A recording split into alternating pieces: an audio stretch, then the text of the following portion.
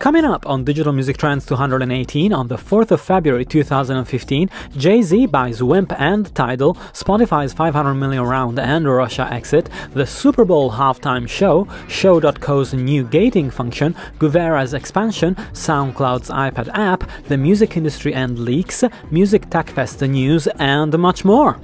Hello, everyone, and welcome to Digital Music Trends. I'm Andrea Leonelli, and this is the weekly show where we talk about and try to make sense of the latest news in the digital music industry. And if you're listening on a streaming service or watching the video on YouTube, you should also know that you can download the show, uh, uh, you know, the full show, and have it on your phone if you use the podcast app on iOS 8, or if you download any podcast, uh, uh, uh you know, downloading app uh, for Android.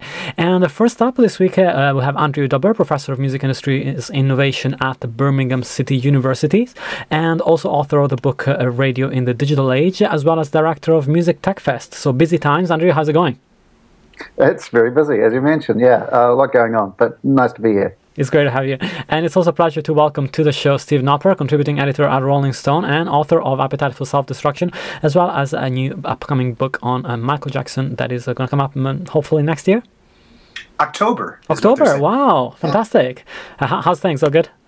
Things are good. Yes, thank you for having me. Excellent. It's great to have you. And so, uh, no, it's great to hear that it's moving along. It's it's kind of crazy to think that we were talking about this a couple of years ago, and now it's actually yeah. it's, it's, actually happening. And and so, uh, you know, this week we'll have quite a few stories to talk about, but also I want to hear uh, uh, updates from you guys on what, what you're working on. But uh, uh, first of all, I guess we we kind of have to start by talking about Jay Z. We have a very clear headline this week, as a Project Panther Bidco Ltd, which is controlled by Jay Z, has agreed to buy Aspiro, the parent company of streaming service Wimp, and uh, a parent company also of the recently launched high quality service Tidal that launched in the UK and the US. So Wimp was available in Germany, Denmark, Norway, Poland, and Sweden, with about half a million subscribers apparently.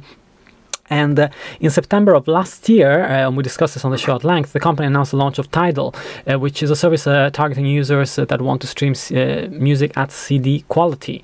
and that's been launched in the UK, US, Canada, the Netherlands, Finland, Ireland, Belgium, and Luxembourg. And it costs around £20 or $20 per month for access. So, you know, we've seen a fair few articles around this. I'm, so you, I'm sure you guys have as well. You know, was it a good move for Jay Z? Was it a long term play or just a, a good sh- short term investment? if, you know, if the company company gains value over the next couple of years uh, to then resell, uh, what the hell is it going to do with it? And, uh, you know, from my perspective, it, it looks like a pretty solid buy just because Tidal was one of the few, you know, Wimp was one of the few companies that was actually public. Uh, uh, it's been public for, for quite a few years, and so they had to focus on, on making it uh, uh profitable from, from the beginning.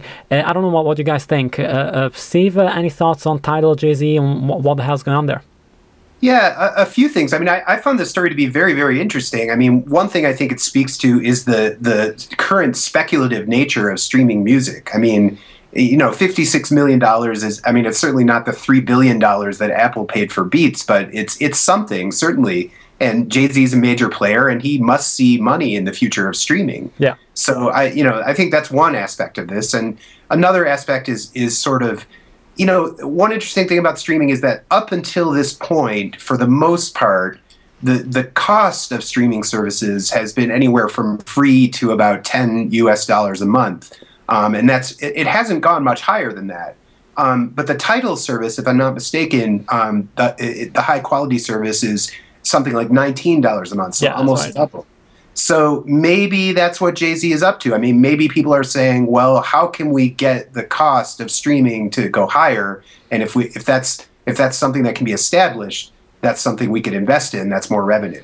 Yeah. Um, I, I think it's I don't know. I think the whole streaming thing seems a little bit bubbly right now. You know, it's we all agree probably that it's the future of the music business, the record business, but it hasn't established itself yet as the future, and it hasn't really gotten full traction yet. So everything's really speculative. It's it's a pretty interesting time right now. Yeah, and, uh, uh, Andrew, you are in Sweden, so uh, you know puts you in a very good place to, to tell us what your, your thoughts about that. well, well, not really, because it's not launched in Sweden. Um, All right. It, it's, yes. It's, if you look through the list, it's it's the Scandinavian countries except for Sweden, uh, which is kind of interesting. Oh, I had, but, um, I had Sweden down in the list, but maybe I was mistaken in the list that I had. That I had. I don't. I don't think Sweden's on the list of uh, currently launched in. Um, but uh, sorry, I, I, I meant for Wimp, not Tidal. Last I checked.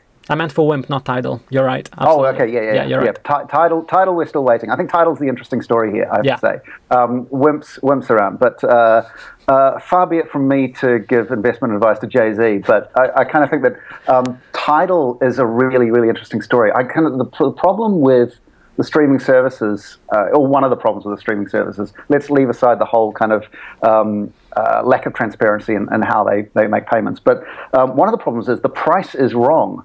Um, it's both too high and too low. Um, because if it was higher, then the uh, the revenue per listener is is, is a better uh, prospect. And if it's lower, the number of listeners makes it a valuable proposition. And and uh, there have been numbers done on, on this in terms of you know you, you drop the price right down and you get a, a truckload more listeners, and that actually generates revenue that starts to be a, a lot more significant uh, on that on that basis. Yeah. So um, so things like Spotify um, uh, you know, you, you, don't know which way to put them, but they're in exactly the wrong place. And I think the really interesting thing for someone like me, and I, and I hope Tidal comes to uh, to Sweden very soon because I'll be first in the queue. Um, because one of the great things about living here is we've got the fastest broadband in the Western world. I've got one gig both directions nice. uh, in my house in the middle of a forest in the middle of nowhere. So it's well, not in the middle of nowhere, but but out of town. Put it that way. So and yeah. um, and and that's uh, having that kind of capacity where, where bandwidth is not a problem. And I've got a nice stereo, and I'll I'll pay a little bit extra to listen to the things that sound nice. I won't buy a Pono, um, but if I'm listening at home on a stereo and a nice system and I want streaming music, yeah, I, will I'll, um, I'll go for something like that. And I think that you don't need millions and millions of customers and, and a company that's worth millions and millions or even billions of dollars to make it worthwhile. You've got something that is a sustainable business with a clear target audience, and, and a bunch of people like me will go, you know what, I'll pay a bit extra. Yeah. And the interesting so, thing is that you don't actually lose a lot of money, like you know, or any money from the first customer because there's no free trial apart from I think a couple of weeks uh, worth of free trial. So essentially, from the word go, you're making money of those of those listeners. You're not losing money on them. Yeah, Just and if they got the capacity, uh, they'll probably stick with it. I think. Yeah, exactly. And also, like from a branding perspective, I don't know whether that that's been discussed much, but uh, I guess you know Jay Z's probably looked at Dr. Dre and thought, well, I can do that. Uh, as far as you know, uh, well, possibly. But but the other thing that that uh, they've clearly looked at is uh, they've noticed that Andy Chen's really smart. Yeah. He's their CEO, um, and he, he I mean, I've, I've met him, and of all of the people in that kind of position that I've met before, he strikes me as somebody you want to pay attention to and, and see where he goes. And if I was if I was in a position to be spending 56 million on a on a streaming company, I'd want it to be something that Andy was in charge of. Yeah, yeah. Uh, Steve, was there was there any any service in the U.S. that um, uh, Jay Z could have, could have looked at uh, in, in this vertical, or, or was this a pretty unique case? yeah, I think it's a, un- a, unique case. I agree with Andrew. I think that Tidal and Wimp are, are a, it's a solid company. Um, I think Tidal is is the first and perhaps the only. I mean, Deezer has its high quality service, but it you have to get a Sonos hookup.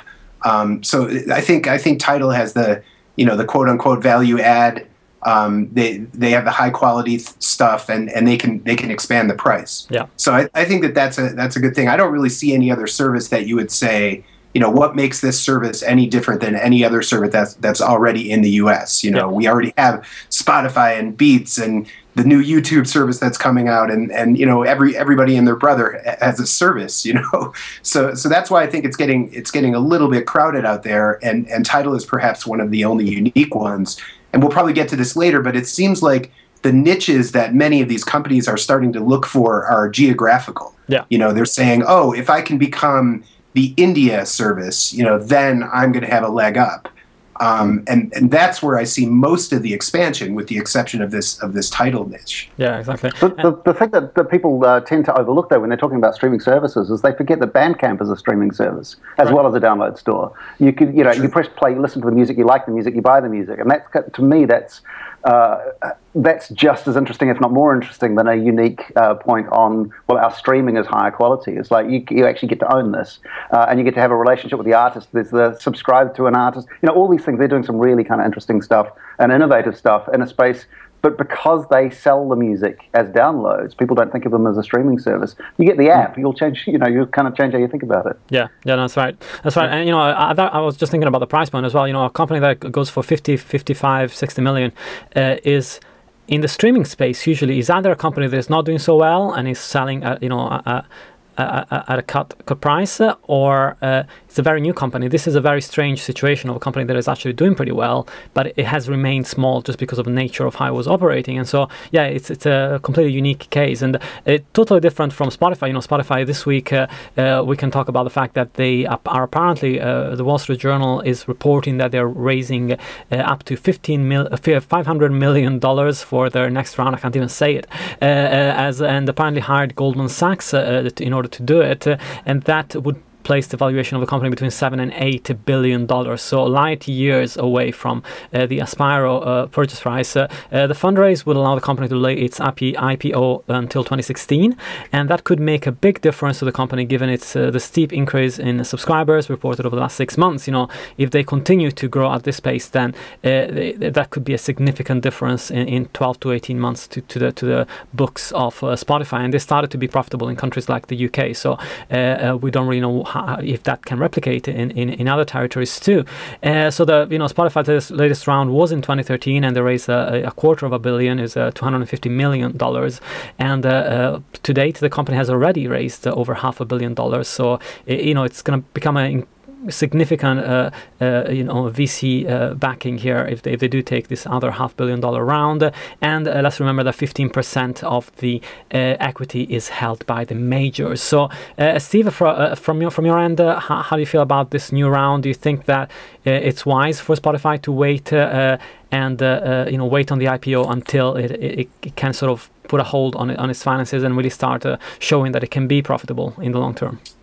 Yeah, I mean, I'm I'm no financial advisor, but but it certainly seems like if you're if you're planning to raise 500 million dollars, you know that that you think is pretty solid, that's about to come in, and you have Goldman Sachs on your side, as opposed to you know some IPO. God knows what happens with that. What what all the investors will do. I, I think it seems like a solid decision. Um, but again, you know, I, I still I'm I'm a little confused about Spotify's fundamentals. I mean, like you say, it's profitable perhaps in the in the UK um, but overall, the company, I mean, their their last reports, from what I've read, um, it's still kind of taking a loss. Right. And and the whole model of sort, of, you know, Andrew touched on this, but I'm I'm a little unclear about how a standalone company like Spotify in the streaming space where they have to pay so many upfront costs to license music and so forth, it, it you know winds up being uh, the the main company in the streaming space. I mean, perhaps uh, a YouTube or a Beats Music that are owned by giant companies that have other ways of making money is it will be the future of this. But I don't know. I, I still feel like you know, at least from my perspective here in the U.S., I still feel like streaming. While I do think it is the future of, of, of recorded music, I'm kind of confused about how much money's in it, and I feel like we're in a in a very speculative time. Yeah, and, an interesting figure to throw out there as well is that SNEP, which is the the French uh, uh, uh music trade body, has released some figures showing that uh, six euros, uh, uh, 24 out of every nine, 99 euro subscription, whether it's a Spotify or Deezer, I think it's it's a combined figure, is goes to music rights holders. So at least we have some sort of hard hard numbers on France as to how much gets paid to right holders, and, and the rest is uh, uh, the platform's fee and uh, uh tax. So interesting figures there. Uh, Andrew, from your end, uh, do you think that it's becoming an, an, insane amount of money, or you know? do you think it makes sense for Spotify to wait and see how, how the market develops over the next year? I've got to be honest, it's not a scale I operate at. Yep. Uh, so it's not really a number that I can. I can't even really say if I've a million dollars.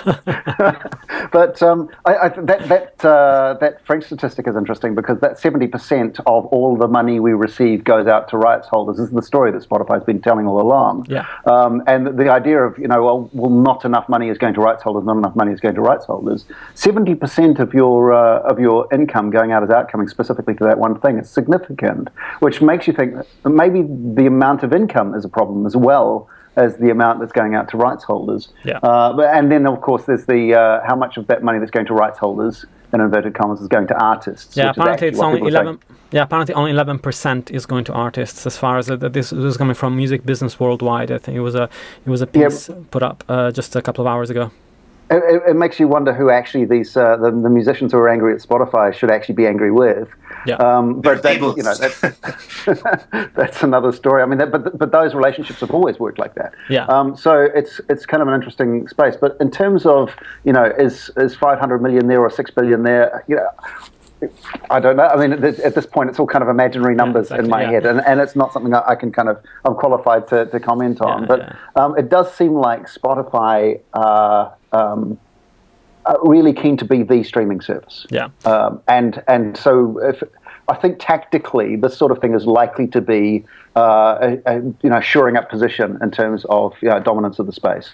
Yeah, and also really interesting this week to hear that Spotify has uh, uh, closed its Russian office uh, and the, the office uh, the the uh, head essentially of the Russian office who's Alexander Alexander Kubanishvili I'm sure I pronounced this wrong, uh, but he uh, will essentially leave on the 12th of February, and the entire operation is winding down. Apparently, Spotify has been in Russia for the past year and planned to launch in late 2014, but uh, uh, reviewed the current political and economic situation in the country, as well as some of the uh, uh, laws around the web that are, you know, the regulations around the web that are making the whole ecosystem pretty feel pretty uncertain, and they decided that it wasn't worth investing their money in the country, and they're pulling out. So this is is not so much about Spotify, but it's kind of like a, it's a little bit worrying because it kind of shows that uh, companies like Spotify are pulling out, and that means that Russia is becoming more isolated. Not just you know Russia in general, but the people that are in Russia, which is not not a great thing to see. Uh, I don't know if that's gonna replicate with other services, but uh, uh, yeah, I, I, don't have much expertise on Russian streaming services. Uh, I know that VKontakte is very much used, but if you guys don't have anything to add to this one, I'll just move on. Well, I was just going to say it must be hard setting up any kind of multinational corporation within a within a, an ecosystem like that, um, because I know that uh, that Russia is very keen on Russian businesses to, to be doing those sorts of things. So yeah. um, it, it's it, it, it might just be as simple as being parochial that, that it actually makes it hard for outsiders to come and set up when actually this is something that we've got the technology to do ourselves. Why why aren't we doing it? Yeah. Um, I, I, I wouldn't necessarily look for anything more sinister than that, other than, than this is, you know, uh, kind of old school protectionism. Absolutely. I, I, the only thing I would add to that is just that, just a broad comment about international streaming services, particularly Deezer, although obviously Spotify and, and others are doing the same. It's just that each territory is so unique with it in terms of its musical tastes, and you know, you have to when you when you open a, a service like this in in some particular country, you know, you have to take you have to keep in mind sort of what the politics are, not only in the business but but in the culture. You know, and yeah. in Brazil, there I was doing a story about this. You know, there's there's certain people who like. Um, kind of baile funk type music, you know, and uh, music from the favelas. And then there's certain people who sort of like quote unquote higher class music. And then, you know, some people are offended if they get too much of one kind displayed to them compared to the other. So it's very complex and interesting as these these, you know, multinational uh, streaming corporations try to figure out how to expand and how they fight over territory. I think that'll be an interesting story in, in years to come as this business expands. Yeah, absolutely. And, uh, and one service that is actually uh, targeted, uh, uh you know, the markets outside of the US uh, is Guvera, that also uh, has announced reaching two million users in India in just um, just months after launching in the country. whilst the acquisition of Blinkbox Blinkbox Music in the UK signals a forthcoming expansion into Europe at some point soon. Uh, and that was from uh, they acquired it from Tesco, obviously. And uh, so in November 2014, it expanded into Russia and Ukraine, and now it's available in the Philippines, Singapore, Indonesia, Malaysia, Australia, Hong Kong, and Venezuela. So they want to be in 20 new markets by June and up to 100 markets by the end of the year. So a very bullish expansion. they must have raised some more money because the, the last round that I could find information on was from 20 2010 and it was for 20 million dollars and i'm sure that's probably mostly burnt by now. So they must have uh, managed to raise some new funding although that's not been uh, announced as of yet. Uh, and the, the, indian figures are interesting. I mean we've seen Rdio also make a play in india and, and launch with a bunch of local catalog. Uh, you know uh, as Steve was talking about, you know, international markets are difficult to navigate, and it's also difficult, I guess, for a single company to try and manage all of these different territories uh, effectively in terms of editorial and everything else. You know, we talked about that uh, when it came to Deezer, for example, that uh, some countries uh, uh, didn't have, you know, an editorial that was really top notch because they just didn't have the resources to employ people in every single one of them. It was 181 countries, I think, that they are in. so yeah, I mean, interesting around India any any comments around India and what's going on there uh, in terms of the market? Well, if they're if they're well, there's a couple of things. Uh, if they're interested in really good editorial content, there's some really great people in India doing some fantastic stuff. Um, Only Much Louder is a uh, independent music, uh, I guess you'd call it a, a, network, doing some really great stuff online. They're running festivals. They're doing all sorts of stuff. There's a great team of people there that can can provide all sorts of content about local, particularly local, what they call independent music. We would call rock, pop, indie. You know, um, but uh, but in terms of um, setting up businesses in kind of international locations. That list you gave was a list of countries with enormous populations. And if you're setting up a, a, something that is based on pushing large amounts of data to lots and lots of people, uh, you could have worse choices than India and Indonesia um, because Absolutely. there are just so many people you're streaming to, and and with so many um, uh, smartphones in those marketplaces that it, it makes a, a, you know a hell of a good call. And then you start going into like um, if you're going to African countries as well, the the uptake on smartphones there is just I mean it, it dwarfs anything that's going on in uh, the US and UK. Um, so these kind of these these sort of established businesses who are going out to populations of a mere 60 million. Yeah. Um, are, are sort of they might be the biggest thing at the moment, but uh, it's not where I would look long term for uh, greatest number of users, great, greatest amount of revenue, or, or kind of company value. Yeah, yeah, absolutely. Uh, Steve, uh, uh, any any interest in in the market from from where you stand? You know, have you have you heard anything uh, your end? Not really. I mean, you know, like Andrew was saying, two million. You know, I'm sure that's sort of like a, a, treasure or a prize for these services, and who can get to that number first, you know, will will have a leg up and or, or an advantage in their service. The whole streaming thing right now seems like I don't know if you guys have the game the board game Risk, um, but it, it, just seems like that. It seems like we're just moving. You know, all these companies are moving these little pieces in, into various territories. Um, and you know they're competing they're trying to knock each other out and it's a really very competitive interesting world right now yeah yeah and, yeah i always get stuck in australasia yeah and uh, we talked about Australia last week. Actually, it was an interesting, an interesting one because uh, uh, their market keeps uh, keeps uh, uh, going down and down and down. And Andrew, let's ta- let's take a break from talking about streaming and and hear a little bit about the Music Bricks initiative that that you're involved in at the moment. Yeah, we've just launched it. It's a European project, uh, so funded by the European Commission. And what it does is it takes the uh, academic research that's coming out of the top universities who are developing like technologies for for music making specifically. Uh, these can be sort of physical objects or uh, APIs, graphical user interfaces, uh, tangible user interfaces, TUIs we call them, um, and putting them in the hands of uh, creative developers and artists and so on at Music Tech Fest events and other events like that to get them to play with these technologies, kind of exclusive use of these new technologies coming out of the universities, play with them, and then we um, sort of essentially develop using challenges ideas for new types of commercial products or new types of performances, new research projects, those sorts of things, uh, and then we kind of using the uh, the European Commission money, we sort of uh, support these to prototype stage so that they can actually sort of get on their feet and start and, and hopefully develop into something that can have a life outside of Music Tech Fest. Yeah, and that's great. You know, I, I was really impressed when I went, for example, uh, the, to the Queen Mary Open Day of their of their you know, sort of digital of the music department, and there were so many ideas that were actually uh, actionably, you know, that were usable in a commercial setting. And so, uh, and I think that's something that people don't, don't often associate with uh, universities that are doing projects of this kind. That actually some of the tech that comes out of it can be productized it was, it's amazing how much of the, the commercially available tech now actually comes out of research projects. So, uh, and it makes sense if you think about it. These are p- smart people doing smart things. Um, something needs to happen as a result of that. And, and, universities aren't always the best people to think of that. But if you put like creative people and technologists together in a room and you say, here is a thing that does something really interesting, what can you make from this? You'll get some fantastic ideas. Yeah, and it gives them a, an environment where they can actually uh, operate without having to, to create a profit right away, which is what happens in a, in a normal company. And so that, that makes sense, you know, the fact that they can come up with some, some pretty exciting, innovative stuff as well.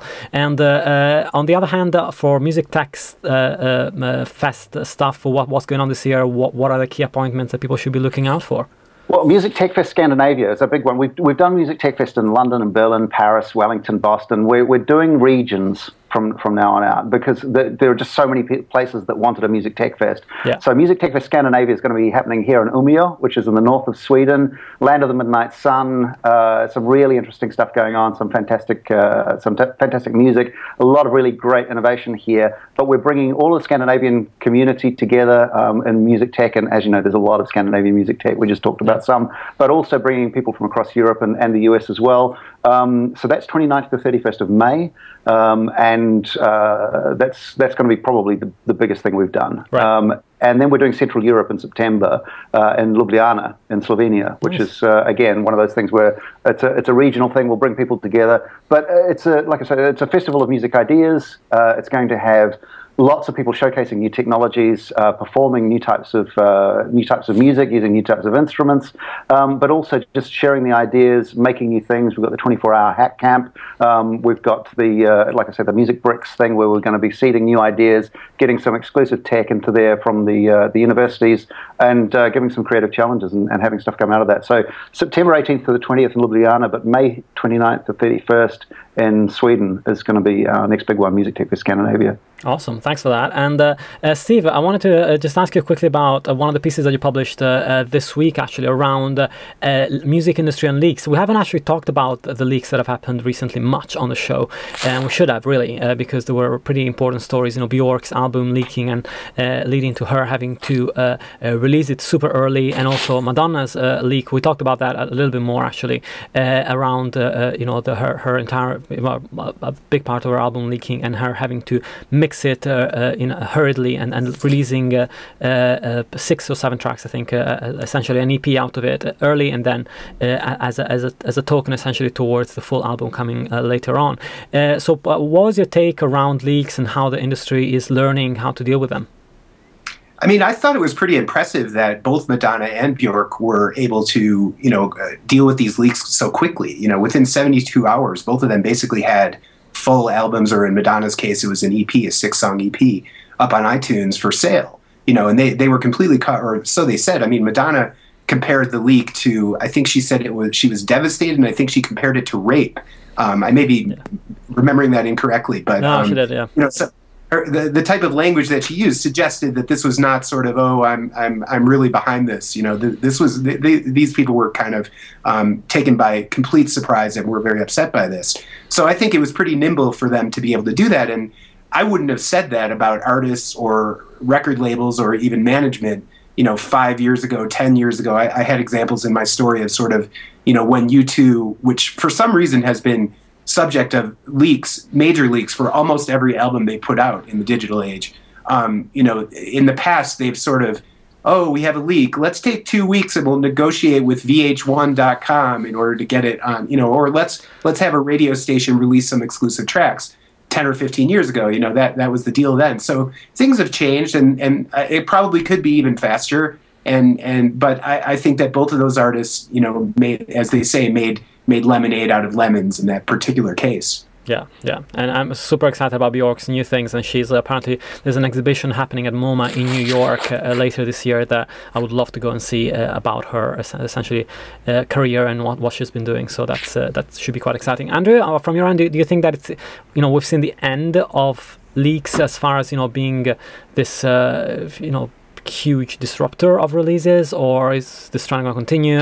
But artists are just better equipped to deal with it. I, uh, well, I think whenever a leak happens, whether it's uh, engineered or uh, something that happens to people, the only thing that they think of is marketing opportunity. Yeah. You know, how do we use this? And I think that that, that doesn't kind of predict the end of anything or, or, or the future of anything, but um, what it does is it really shows you what the priorities are. So it's more important to capitalize on this marketing opportunity than it is to spend the next two weeks getting the record the way I really, really want it. Um, and I think that's a really interesting kind of um, uh, marker for, for an industry because that is the that's the point of this exercise is it's a marketing exercise and a sales opportunity. And if a leak happens regardless of why it happens that is an occasion for marketing. It's nothing else. And and so that is the level at which the response takes place it's not well this wasn't ready and it's not you know the expression of my art that I want to share with the world. It's like right how do we use this? So I, I think that's kind of the the telling thing about uh, about sort of particularly the, the major record industries. Yeah and also like uh, two different artists as well. You know, we're looking at Bjork, somebody who wouldn't uh, uh, necessarily care or be particularly interested in, in being, you know, number one album seller. And so perhaps the way that she dealt with the leak was different than Madonna's because Madonna would expect to get to the number one on the album charts, and perhaps the leak has disrupted that chance unless she, she manages to do that when the album comes out uh, uh, in, in a couple of months' time, I believe. Uh, so yeah, uh, different approaches, also different types of artists and, and different aims uh, of what they want to do with their with their release. And uh, talking, you were talking about marketing. Actually, there's an interesting story coming from a, a company called Show.co, who used to be Sounddrop. Uh, sound, drop, song, song drop. I, I always confuse the. Anyway, uh, Show.co announced this week that it would allow it would allow users uh, of its marketing platform to gate a Spotify follow uh, in exchange for access to content. Essentially, uh, as, as you used to do with downloads and, and emails, you know, instead of giving up your email, you uh, uh, accept to follow the artist on Spotify, and then you get something in return.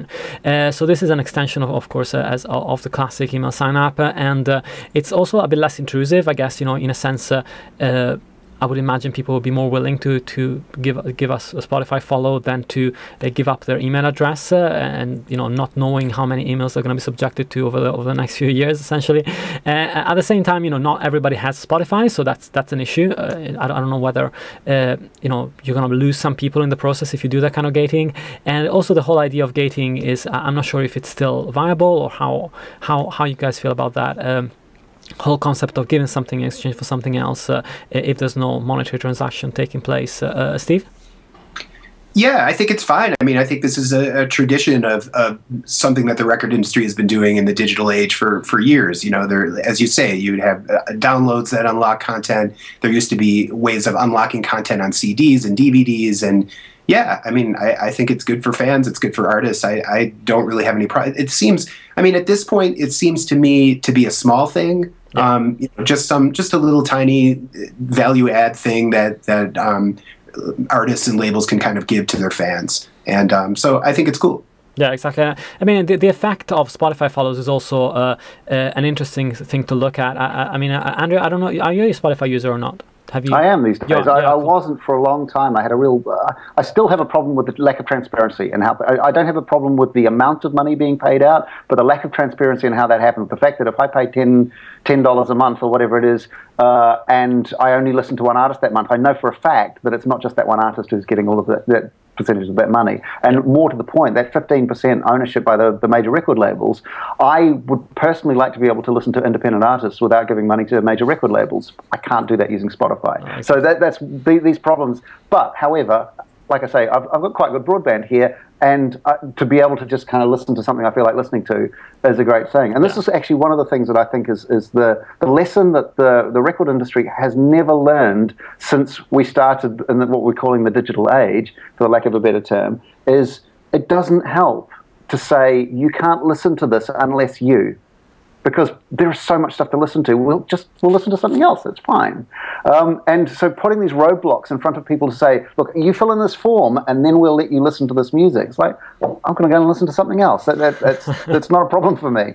Um, so whether it's a follow on Spotify or an email address or whatever, um, it is preventing people from hearing music that they would grow to love, buy, have a relationship with the artist, go to concerts, buy merchandise, you know, all those sorts of things. It's like just get out of the way. Are you crazy? This is this is this has been going on for 20 years now. You must have learned these lessons by now. Yeah, I was going to say, do, do, you guys subscribe to any artists or any playlists? Because I mean, that that's a pretty powerful thing to be able to get an email or you know a pop-up on your Spotify account on your phone that says, "Oh, there's a new track uh, by this artist," or uh, a new track has been added to this playlist. So I guess I guess there is value in having that relationship with fans, although it's not direct.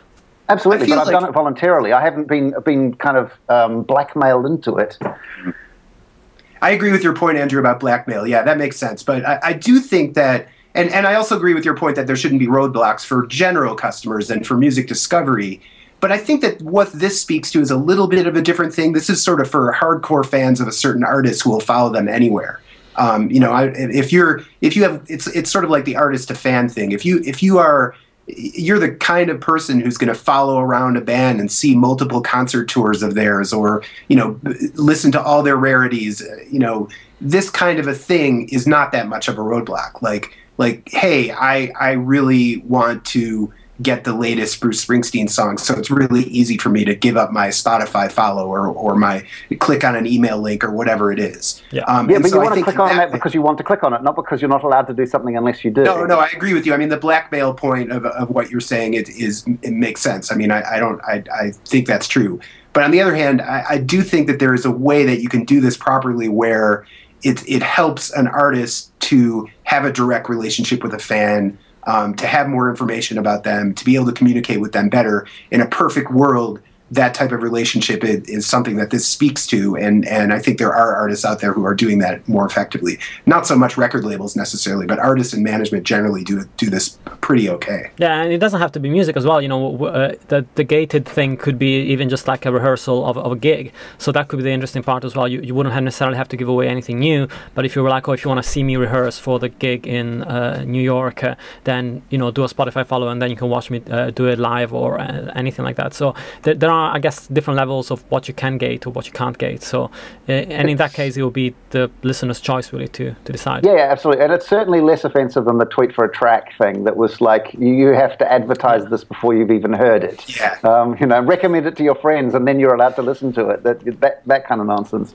I mean, this, this at least is kind of uh, less, you know, uh, obnoxious than that. Yeah, yeah, absolutely. And and talking about uh, you know services uh, uh, that are essentially uh, have been created to in order to promote artists. Uh, SoundCloud is one of those.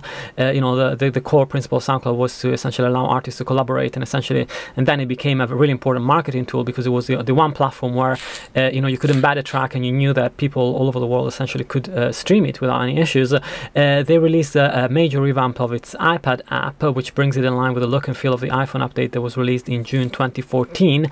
the app is is very snappy, is beautiful looking, but it does focus entirely and exclusively on the uh, uh, listening experience. And uh, you know, Engadget had a headline saying SoundCloud says app is good for listeners and bad for creators. This is a, an argument that we've already had on the show when the iPhone app came out, but this kind of feels like you know strengthening of that line and and also a little bit puzzling on my end just because I, I, don't find any social elements to that app which is strange considering that SoundCloud is all about community and, and there's no way of commenting on the tracks. You know the timeline for them was a big thing. I, I guess you know trolling is, is a real, problem on, on, those on those uh, kind of comments. But uh, you know th- there's a lot of things missing from it still. So I'm just hoping that it's sort of a, a skeleton of what's to come rather than the finished uh, uh article.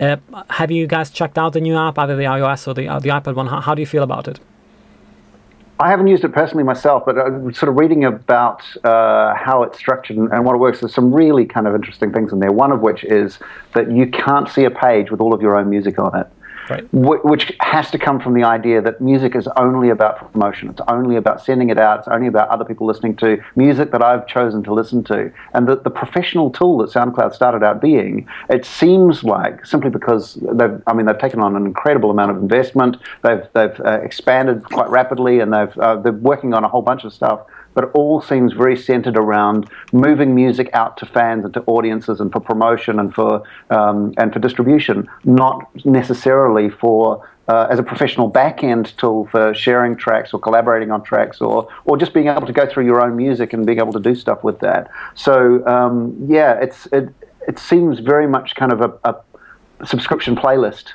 rather than a, uh, a, a music tool.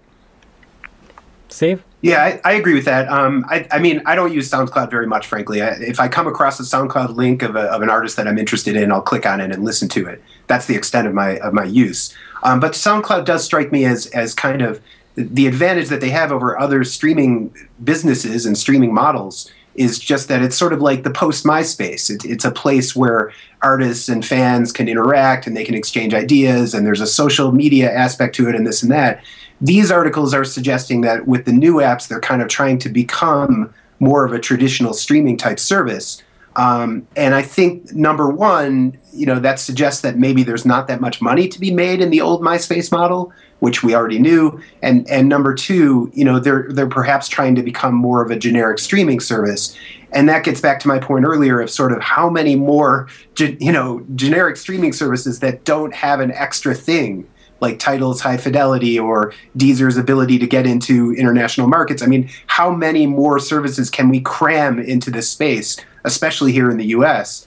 um, I think that's all being sorted out. I, I I, feel like this story, and I don't know much about SoundCloud, or and I haven't used it much, but this story suggests it's sort of trapped between its old model and thinking about its new model, and it's a little confused. Yeah, and, but that's been the case for like a year or so. So that's that's why I think people are starting to, to be a little bit more impatient now. They're, they're, they're thinking, what is going on here? You know, why uh, is there so much functionality missing? If, if it is becoming a streaming service, and if it isn't, then what's happening to it? So yeah, I guess I guess there's, there's a lot of back and forth there, and hopefully we'll see a lot more functionality being added to the app uh, soon, and and more social elements as well come into it because it, it, this they're so well placed to, to, to introduce some some sort of social element to the app that it's it's a shame that nothing uh, around that is is is being done. And uh, I wanted to uh, quickly chat about the Super Bowl. Yay! Uh, I, I, know nothing about it in terms of sports, uh, obviously. Uh, I don't I don't follow uh, almost any sport. I'm terrible. Uh, but uh, I uh, I was uh, intrigued by the halftime show. I'm always intrigued by the halftime show. So we usually uh, do a little bit of a section on it after the Super Bowl on, on, DMT. But I think we've been doing it for the last three or four years. and so this year, the duties to perform at the halftime show were Katy Perry's, and she performed alongside Miss Missy Elliott and Lenny Kravitz. The interesting thing is that uh, on the one side is that uh, Missy Elliott uh, stole the show, and uh, uh, her sales apparently shot up a thousand percent uh, uh, just in the one day because the, the, the, week's sales ended on that on the day of Super Bowl, and just through that performance they shot up a thousand percent. So that might actually carry on, on for the, for this week uh, too, with lots of people thinking she was a new artist. Actually, remarkably, because she'd been out of the you know music know, or the front forefront of the music industry for, for the past nine years since her last album release, and, and so that was that was fun funny. And on the other side, uh, we had a Katy Perry that started that was selling merchandise uh, uh, in partnership with Universal and Pepsi directly on social media, and she was also using the Twitter buy button to in order in order to get people to buy this limited edition merchandise items uh, uh, as as a result of her performance at the Super Bowl. So a couple of interesting commercial elements there. I don't know if you guys want to pick up on one of them. I was I was quite impressed by the Missy Elliott one and the fact that people didn't know who she was. Well, uh, yeah. yeah that, that's interesting, but the, the more interesting thing, thing, for me is how statistics work. Um, and whenever you hear these stories and they've got numbers in them, you go, okay, how do numbers work? A thousand percent, it sounds like a big number. A thousand is a big number, yeah. um, but a hundred percent is the same amount again. Let's let's not forget that. So a thousand percent is ten times that, right? So this is how numbers work. And the question is, that's a, a, a it's a it's a ratio, right? So what was it before? Was she selling? 10 copies or a million a copies thousand, or five, you know. I think it was a thousand so, per uh, each of the three hits that she played. And they shot up to 15 to 20,000 each, something like that. See, that's a number that makes sense. But if you say a thousand percent, you, are actually kind of saying all you're saying is big number. Yeah. Uh, and and actually that, that, that, yeah, it's it's a really it's an interesting one. Um, but actually, you know, I think it's, it's great that she got in front of a really good audience because I think she's an incredible artist. Yeah. Uh, and and I've thought that for a long time. But it also speaks to the demographic uh, that they're they're pitching to. It's like this. There's I mean Lenny Kravitz too. Lenny Kravitz has been around a while, um, and this idea of of putting kind of uh, established almost kind of legacy artists in that kind of slot says a lot about um, who they think their audience is and you know what the purpose of that is and what the marketing message of that is and you know what is the piece of communication that's going on yeah. Um, because actually they could have sold probably a lot more records um, by a completely different artist given a different demographic. So yeah. it's it's a yeah it's those that, it's a really complex uh, um, uh, algorithm. Dynamic there, yeah. And, and it's yeah. funny. I read people saying, "Well, what is what is the guy from the Hunger Games doing on, on stage at the Super Bowl?" because they didn't even realize that he was a musician. They just thought he was an actor from the Hunger Games. Uh, so. that is uh, another one, a funny one from for Lenny Kravitz. Uh, uh, Steve, from your end, how do you experience? Did you experience yeah, it? Do, do, do, you watch it? And uh, how do you feel to you as, as a halftime performance compared to some of the others that have made uh, you know the headlines, like Beyonce's, for example? Yeah, as as the token American on this week's show, yeah. um, I go Broncos. Uh, you know, I. Um, I mean, number one, a, a few points. Number one, um, I'm a huge Missy Elliott fan, so uh, I, I, love her singles. I was dancing around the room, and my my 12 year old daughter, who uh, who's a Katy Perry fan, you know, was kind of looking at me funny. So I thought it was great. Um, you know, to to Andrew's point, um, I mean, it, I think the Billboard story said that she sold, you know, the thousand percent means she jumped to 70,000 downloads sold. Yeah. You know, so she was on the Super Bowl and she only sold 70,000 downloads the, the week yeah. later. I mean, that strikes me as, yeah, a thousand percent seems like a big number, and, and that's not a very big number. However, you know, the, the silver lining, I think, to that as far as Missy Elliott goes, and you could have perhaps said the same thing about, you know, the Red Hot Chili Peppers when they played last year during Bruno Mars's performance, which was kind of the same model, you know, a young headliner bringing back, as Andrew said, a, a legacy artist. I mean, in today's music business world, you don't really make that much money off recorded music. I mean, unless you're Taylor Swift or, or maybe Adele or the Frozen soundtrack. If you're Missy Elliott and you and you've got this big comeback and you're getting all the press, the question is, how do you take advantage of it now? How smart is she going to be? I mean, I don't know what she was doing over the last nine years. Probably we'll find she out. She was producing soon. and songwriting. Apparently, she, she's done oh, okay. a lot. She's done a lot of stuff. It's just that nobody. Okay, so nobody she's been doing a lot behind the scenes. I haven't. I'm sorry, I haven't followed followed. But um, you know, at this point now, she hasn't really had much of a much of a, um, a headlining persona as as a solo artist. So you know, now all of a sudden she has this opportunity to reintroduce herself. Could she start a tour? Could she sell something? Could she you know do some kind of marketing thing? Could she be on a commercial? Could she do stuff with brands? I think that the lane is open to her right now. And, and the Super Bowl performance kind of single handedly did that, regardless of what the sales were. So that I think that's that's very very good for her. Yeah. Um, yeah, it's so, kind of funny, so, like you know, because you wonder, does she want to do a comeback? Because you know, if you've been away for that, you know, such a long time, and you've been happy producing and doing other stuff, was this a one-off? That's that's the other possibility, right? Yeah, well, yeah, the, the, the, I mean, I don't think she's said yet. The, the more interesting question for me would be how much did it cost her management to get her on there? Because yeah. I, I, don't think that was a revenue-making activity. I think that was an expense in the in the budget. Could be. I mean, there was this an article came out last summer. You make a good point um, by the Wall Street Journal that said that before Katy Perry was announced, um, which which suggested that the NFL was requiring Super Bowl headliners uh, for the halftime show to pay to play. Um, you know, and and they had they had a bunch of artists who were considering it. Coldplay was one of them. Katy Perry was another. And then Katy Perry came out, you know, a few weeks ago before the Super Bowl and said, "I'm not the kind of girl who would pay to play." So, you know, the whole thing's very mysterious. We haven't gotten it confirmed one way or the other. But I agree with Andrew. I'm sure that there was money exchanged hands to, to get on this, and Lenny Kravitz too, probably. Yeah, somewhere, somewhere, somehow, some money changed hands. yeah. It was probably worth it in Missy's case, certainly. Great, and uh, well, I think uh, we've uh, come to the end of the show. It was fun talking about the Super Bowl, and also Madonna announced her performance at the uh, Brits, so that's always interesting. Uh, we're going to see how that pans out, uh, and I think that's not not much else left to talk about. But Andrew, anything else that you wanted to point us to? otherwise, just the Music Tech Fest website, if you want. MusicTechFest.org. Perfect, and thank you so much for your time today. You're very welcome. And Steve, uh, from your end, uh, anything you wanna you wanna talk about, and also like uh, you know, tell us more about uh, about the book.